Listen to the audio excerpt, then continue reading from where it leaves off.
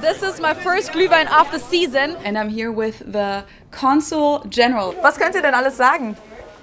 Alles, sowieso. The infamous Christmas pickle ornaments. Many Americans think this is a German tradition. The März Apotheke, this still has German on it. 3994 Sippungen. They have a little Krampus. It's, it's really good.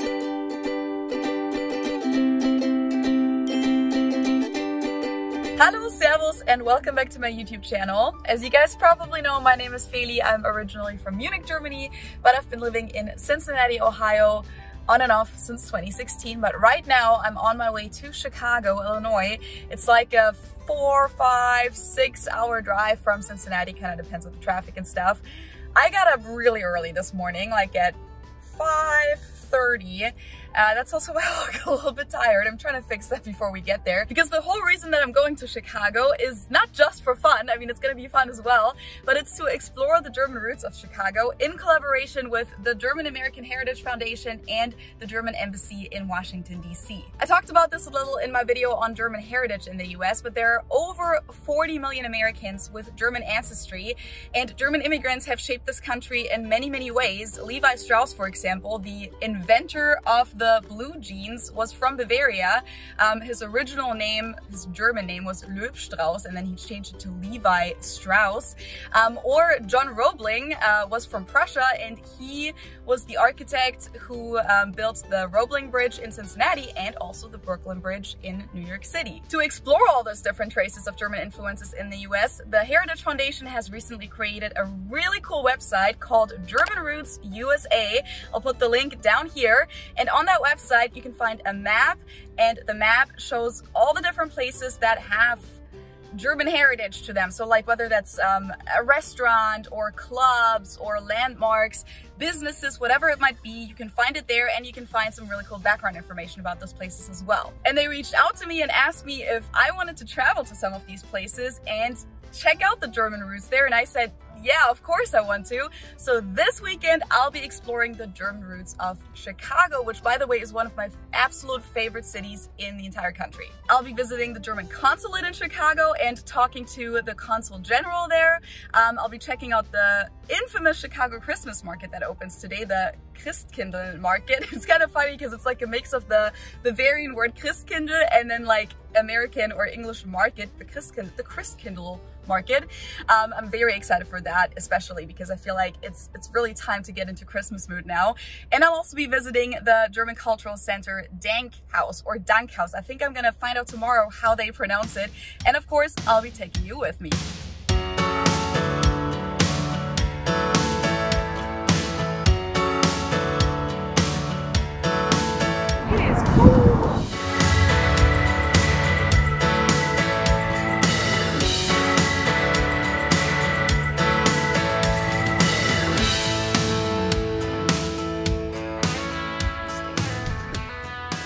So we're here at the consulate now in Chicago, and I'm here with the consul general, is what it's called, right? Generalkonsul. That's what I'm called. Yeah, yeah. I'm, I'm always get confused because it's the other way around in English. In mm -hmm. German, we say Generalkonsul. Um, Wolfgang Mössinger, um, thank you so much for having me. Thank you for coming. Yeah. I'm, I'm very excited to be here. As you can see, he has an amazing view here. And I am here this weekend to kind of discover the German roots of Chicago. And I think for Germans especially, but I think also for Americans, when they think of the city of Chicago, most people think mostly of like a stereotypical American big city with a big skyline, you know, theaters, lots of things to do, the lake, of course. But not a lot of people realize that there's also a lot of German heritage here in Chicago, German roots. So, where can people see those German roots, or how can we experience the German roots here in Chicago? Many people say that Chicago is the archetypical American city. Mm -hmm. Part of that is, of course, the many, many different ethnic communities that are here. Yeah. Uh, and with the German community, it's probably more complicated than with others. Mm -hmm.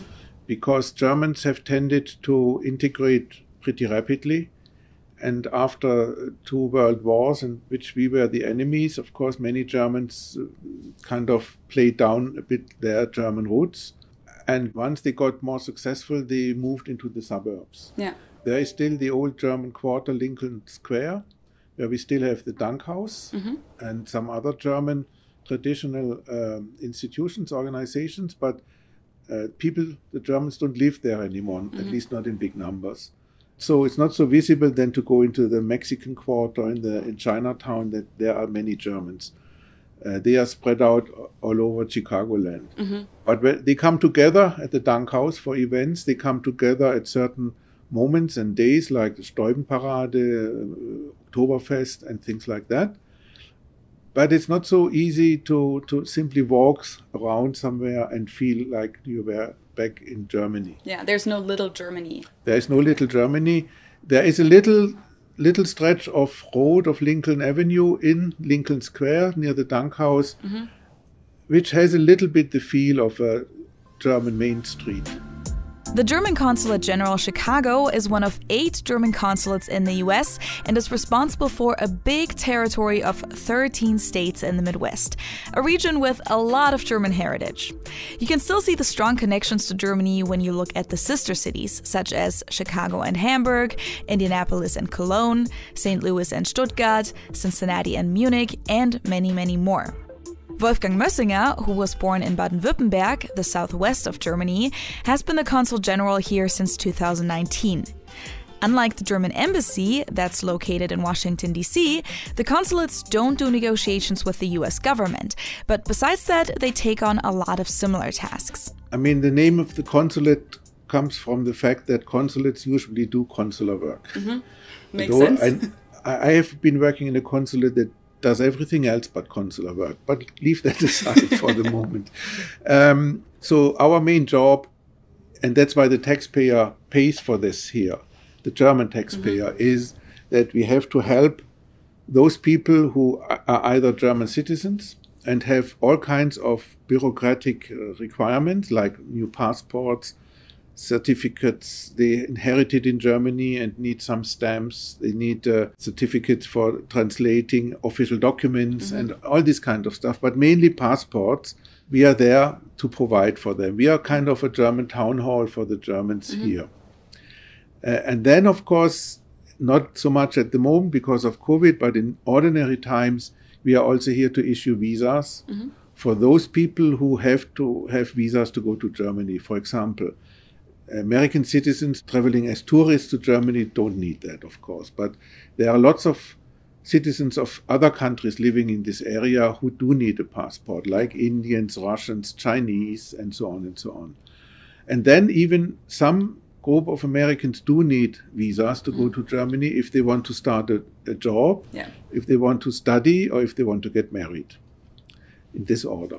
Uh, so that's a part of what we do, and half of my staff of about 20 people is doing that. And then we have, of course, is, um, eight honorary consuls in the area who do a lot of day-to-day consular support for, for the Germans and for whoever needs the support uh, on site. But the other half is doing uh, basically what an embassy does. Is doing uh, political work, is doing press work, cultural and uh, economic uh, support. So you mentioned that you also have projects in the cultural field, co- Yes. collaborating with all these different uh, German American um, societies and institutions here. So what are some of those projects that you do? Uh, we, we always try to bring these heritage associations a little bit more into the modern times because sometimes they are very much uh, in the old times. Yeah, I know.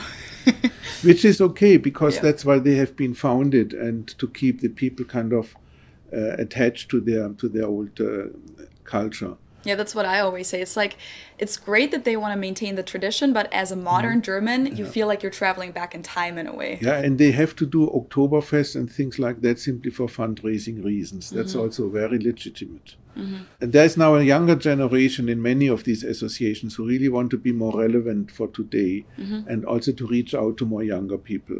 So, do you, as a the whole consulate, reach out to these different associations and kind of make suggestions or guide them in certain directions, or um, do you do you collaborate with them with funding, or how does this work exactly? Everything, Okay. everything. We have funding available, small, small funding Mm-hmm. available. We support them, we guide them. Sometimes we have special funds available for spe- specific events, anniversaries, and so on and so on. And then, of course, we are happy to help when they have issues on how to modernize their association. And you just mentioned the Oktoberfest. Now, mm-hmm. I've talked about the Oktoberfest in Cincinnati before. Yeah. We have also different Oktoberfests by the different organizations yeah. in Cincinnati. Um, what's the Oktoberfest like here in Chicago? Is it a big street festival or is it an indoor event? Mm. Have you been? It's usually celebrated together with the Steuben Parade. Okay. End of September. So like it's like in Munich. outside? It's outside, it's a big tent and it's the place where the Steubenparade ends. Okay. So the people who have participated in the Steubenparade then gather there for yeah for eating and drinking basically and for music, um, and it's big, it's huge. It's lots of thousands and thousands of people over, yeah. over a couple of days.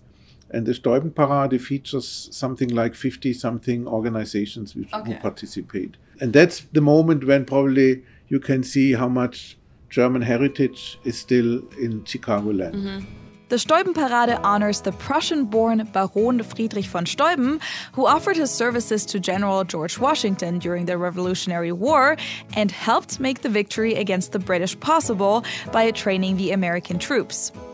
From traditional clubs such as the Donauschwaben or the various German singing clubs, to those that try to manifest more modern German culture, such as the Dankhaus or the Schwaben Soccer Club, you can find over 40 German American societies in the area. While most of those organizations mainly focus on maintaining the German language and culture in the US, the German American Chamber of Commerce promotes business relations between the two countries. Their Midwest chapter is headquartered in Chicago and is a great point of contact for German businesses that want to enter the American market. The Chamber is also the organizer of the annual Christkindl Market in downtown Chicago, which is where I was headed next to meet the Chamber's marketing manager, Laila Schmidt, a fellow German. Okay, so we're at the Chicago Christkindl market now. This is my first time here. It's it's kind of like a famous Christkindl market. Like people have told me so many times before that I need to check this out, and I'm here with Laila. Is it the big, biggest Christkindl market in the whole country, or like? Because I know it's so so famous, but like, what's so special about it? So it is the most authentic one outside of Europe. So and we've been the first one, right? We've been here since 1996. So th this year we are actually celebrating our 25th anniversary. So we have one location here at Daley Plaza, and then we also have a location location at Wrigleyville at Gallagher. So I'm here for the 25th anniversary for the first time then, and I guess I'm kind of lucky because last year it didn't take place, right, because of COVID. And then unfortunately, I learned today, uh, which for you guys, you will already know this now when you're seeing this, but I learned today that most of the German Christmas markets are, again, not happening this year, which is really sad because I was really looking forward to them. So I'm really excited now to at least get some of the Christmas atmosphere here in Chicago. And yeah, if it's really authentic, then, you know, it might make me feel like home a little bit. And we're just going to go around and check it out now.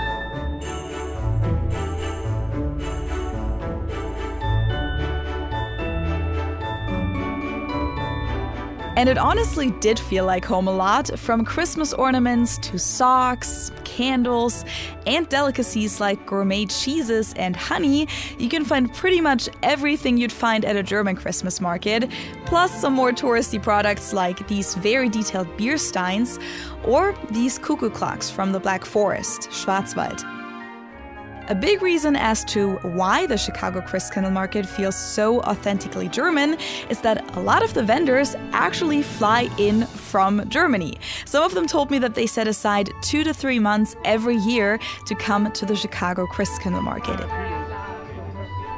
And it's not just the products that are authentic, the market looks like home too. So all of our huts have the same design, right? It's the red and white striped wooden booth. So these are imported actually from Europe. Oh, cool. So that's what makes it authentic, um, as we are modeled after the original in Nuremberg. Yes. In addition to German vendors, as well as locals, you'll also find international ones from other countries all over the world, like this one from Ecuador, for example.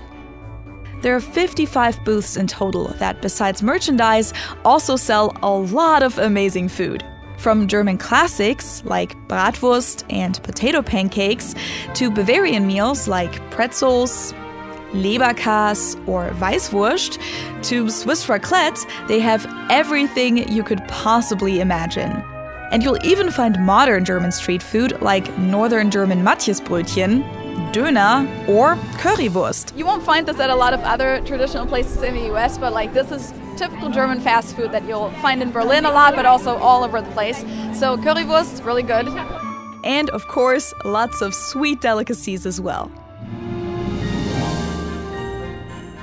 I wish you guys could smell this right now because it smells so Christmassy and so much like home. And I know I, I sound super cheesy right now, but it's just true. If you've ever smelled roasted almonds, you know what I'm talking about. It's really hard not to want any when you smell it. We also have that smell at Munich Oktoberfest as well. So like it either reminds me of Oktoberfest or of like Christmas time. But as you can see, of course, the US doesn't just offer one or two varieties. No, they offer like a thousand. And then we get to the highlight of the night the Glühwein, mulled wine that they serve in their custom made Glühwein mugs. You can watch this on the Chicago Christkindl Market Instagram page, by the way, because Lila did a live stream of me testing the Glühwein. Annual mug, as you can see. So let's Yes. see what her what she says. First of all, this is my first Glühwein of the season. Usually I get some uh, bottled Glühwein at uh, the American Aldi, for example, the Aldi supermarket. This year I haven't gotten any yet, and uh, haven't had here anywhere yet. So this is going to be the first of the season, which is always a reason to celebrate. And uh, let's see if this is authentic. It's really hot, I think.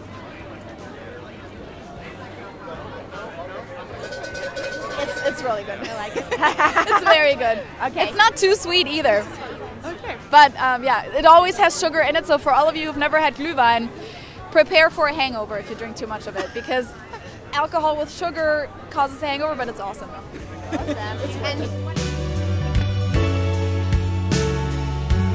Okay, so we're masked up because we're going in one of these indoor little tents or huts. You can see that there is a German street sign for a one-way street, Einbahnstraße.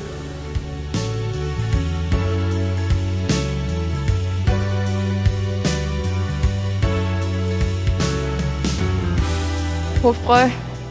Oh, they even have the um, Christmas pickle ornaments here, the infamous Christmas pickle ornaments that I've talked about before because many Americans think that this is a German tradition to have one of these, hide it in the Christmas tree, and then the first kid who finds it gets an extra present. But um, yeah, in Germany, nobody has ever heard of that before. I think it might be a very regional thing from like one village in Germany or something like that, but it's not a common German tradition at all.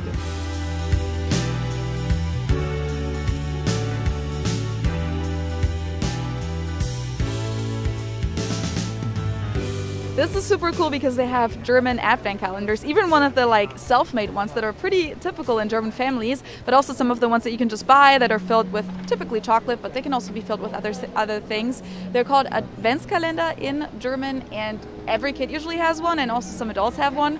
And that's like to have the countdown starting on December 1st to Christmas Eve. So you have 24 little doors with presents or chocolates.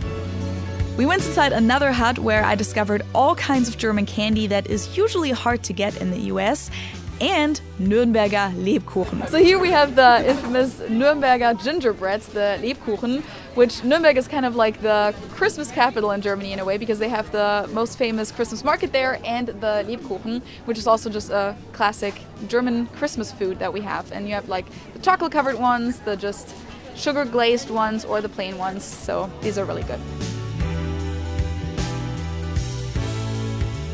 And then, of course, they have a little Krampus statue. I don't know what this is. Image in like southern Germany and Austria. This is the person or the thing that accompanies Nikolaus, so Saint Nicholas, who comes on December 6th to like, he's kind of like a version of Santa Claus, but in Germany we kind of have both.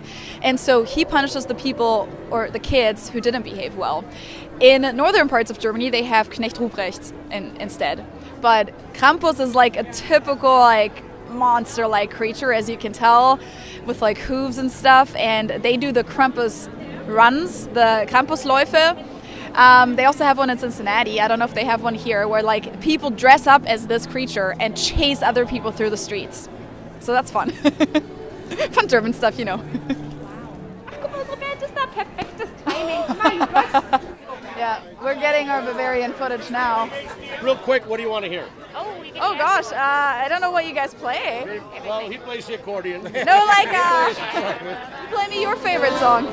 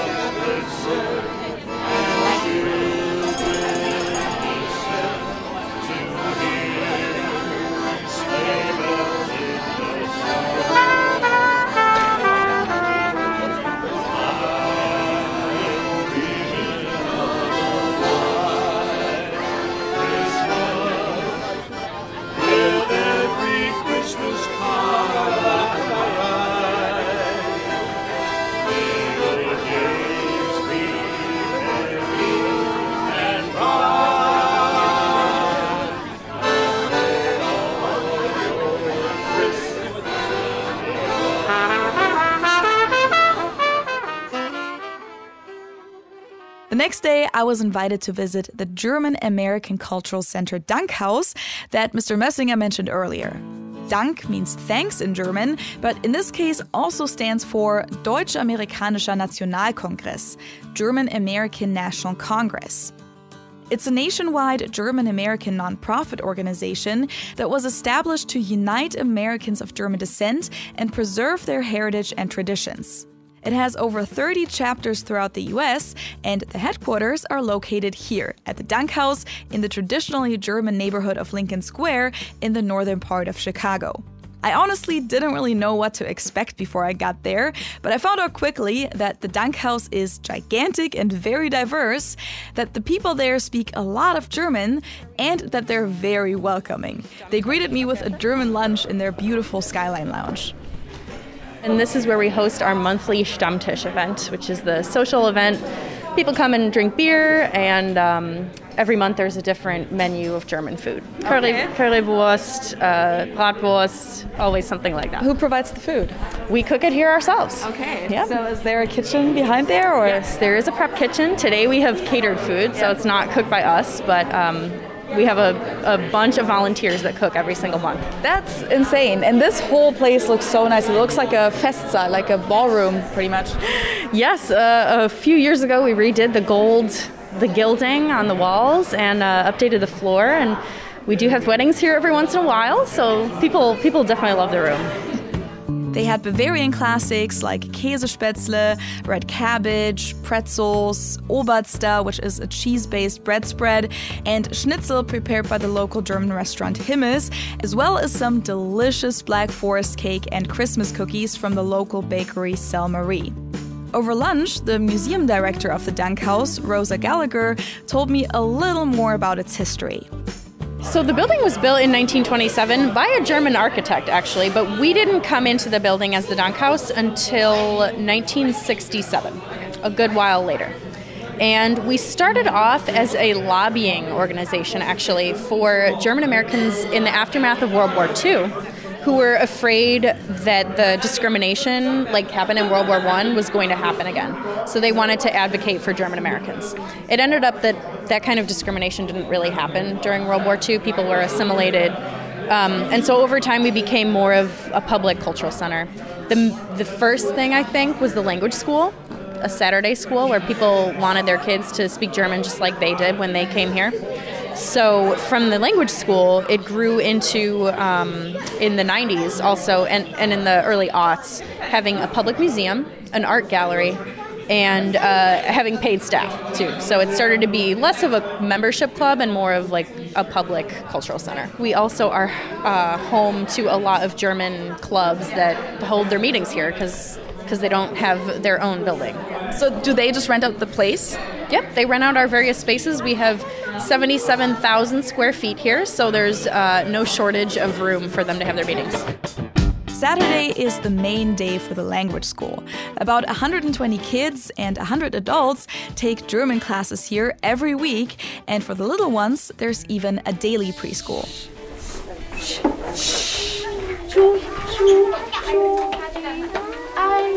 Seid ihr ein Zug? Eine Eisenbahn? Hier ist vierte Klasse. This Okay. is fourth grade. Hi, Lizzie. Fourth Cool. graders. Yeah. They're so old. Hi, Danica. Wie läuft's? Hallo. Was könnt ihr denn alles sagen? Alles, sowieso. Und was macht ihr heute? Habt ihr schon Ah, gesungen heute? cool. Also für Thanksgiving. Was habt ihr denn gesungen? Sehr cool. Noch so richtig cool. Ah, okay. Tag Also Dankfest. After class, the kids get to try some tricks on these German aero wheels called Rhönrad. Meanwhile, I was headed towards the Brauhaus room, where a group of people was getting ready for their weekly Kino event, where they watch a German movie over coffee and cake. The space is also used by the Brandenburger Schützenverein, the shooting club, and of course, you can get a beer here with real German brewery atmosphere. Part of the Dankhaus mission is to salvage and take in a lot of the lost German culture in our neighborhood. And so we were able to do that this year, or the past year during COVID, when we were able to salvage the Brauhaus bar from the Brauhaus restaurant across the street. Okay. Did the restaurant close? Or? It did. Okay. The owners retired. Yeah, this looks super They did. nice. They didn't want to. They didn't want to, you know, give it to anyone else. So they called the Dunk House and said, "Do you want any of it?" And we- yeah, we do. Yeah. So we were able to take it here, and it fit perfectly. So everything in here, from the columns and everything in here, came from the original Brauhaus. And was that originally German? Well, it was built by quite a few German immigrants. Okay. And, you know, these were all uh, people who were born in Germany or first generation German Americans. And they created a spot that was, you know, iconic. Mm-hmm. You know, I've lived in this neighborhood 30 years and my kids all grew up there. Mm-hmm. Everyone here has a story about the Brauhaus. Mm-hmm. So when they're able to come here and see this in person, it's, it's an amazing thing. Besides the Schützenverein, the Dankhaus also rents out rooms to the German American Police Association, the Siebenbürger Sachsen, as well as the Schlaraffia Club, a worldwide men's only association that uses old fashioned German language and holds their meetings in a fixed ceremonial form. Their meeting spaces are called Schlaraffen Castle and are equipped in the style of a knight's tavern from the Middle Ages. Is that real? Yes. Ew. So this room was taken from the Germania Club, another German club that closed in the 80s. Yeah. And it was brought here. All the wood, all the furniture was brought here. And Yeah, I was, I was asking because um, th- this doesn't look like the rest of the building. This looks, looks like an old building inside of here. So yes, it's totally different. People walk in here and they're like really dumbfounded at this. Yeah. And the members still meet here uh, every Friday in the winter. So this uh, 3,994 Sippungen. That means they've had 3,994 meetings. So Sippung is this old term for meeting. So Oh, so for they, Sitzung. Mm-hmm. one one zips to have a meeting. Yeah, this reminds me, I've, I've seen this before in Cincinnati, but it reminds me a lot of like the Carnival um, Vereine and Vorstände in the Cologne area, especially. Yes, a lot of uh, capes and costumes and uh, performance. I believe So I've never been to a meeting because I'm a woman, um, but I hear it's there's a lot of poetry and humor that goes on there. Last but not least, I visited the current exhibition Lost German Chicago at the Dankhaus Museum. It covers German migration to Chicago, as the name suggests, including the journey, and I especially love this piece here that was here when I started working here, and I later noticed that it's a passport from a woman who is from Bottrop, which is where my mom is from in Germany. That's it's funny. a little town in the west. Um, then we also cover some of the political upheavals that have happened in Chicago in which Germans played a big role, like the beer riots of 1855, where the mayor cracked down on drinking on Sundays, which the Germans did not like. Yeah. And so they kind of revolted about that. And one of the most famous uh, events in Chicago history uh, is the Haymarket Affair of 1886, where Germans, uh, some German anarchists, were fighting for the eight hour workday, and it came to a day of violence where some people lost their lives, and eight of them were sentenced to death. They also have some pieces from the old Chicago Germania Club, including these wood pieces that show scenes from operas by Richard Wagner. The Germania building has been declared a historical landmark, by the way, and can be rented out for events nowadays. During World War I, the Germania Club actually became the Lincoln Club for a while. They changed their name because of the anti German discrimination during that time. I mentioned it in my um, German heritage video before, and I've also done a lot of research about that in Cincinnati. But it's crazy how, like, all over the country, clubs and people changed their names, tried to like kind of hide their German connection because they were scared of the consequences. Some people even got lynched, but a lot of people just got straight up discriminated. So hmm yeah, so there, and uh, especially the uh, German language was under attack and the German press. That's something that the immigrants in the predominantly German neighborhood Lincoln Square had to deal with as well at the time. Today, there are only a few spots left that still remind of the German connections, such as Gene's Sausage Shop, that is run by Polish owners but is located in the building of the former German deli shop Meyer's Delikatessen. And even today, you can find all kinds of German products here, including Glühwein. The Merz-Apotheke in the neighborhood isn't run by a German family anymore either, but has been able to keep up the German spirit. Here, as you can see, the Merz-Apotheke, this has, still has German on it. So Apotheke is obviously a German word for pharmacy, and German pharmacies look very different than pharmacies in the US, especially nowadays. Um, and this one is still like old-fashioned even for German standards, but it's kind of more similar to what we will find in Germany to this day. And it says gegründet 1875, so founded in 1875. Here, all these um, German natural products. Germans will recognize this Kneipp Badeöl. It smells very strong in here. I wish you guys could smell that. Oh yeah, Weleda. Mm-hmm. They specialize in homeopathic and natural medicine and import products directly from Germany and other European countries.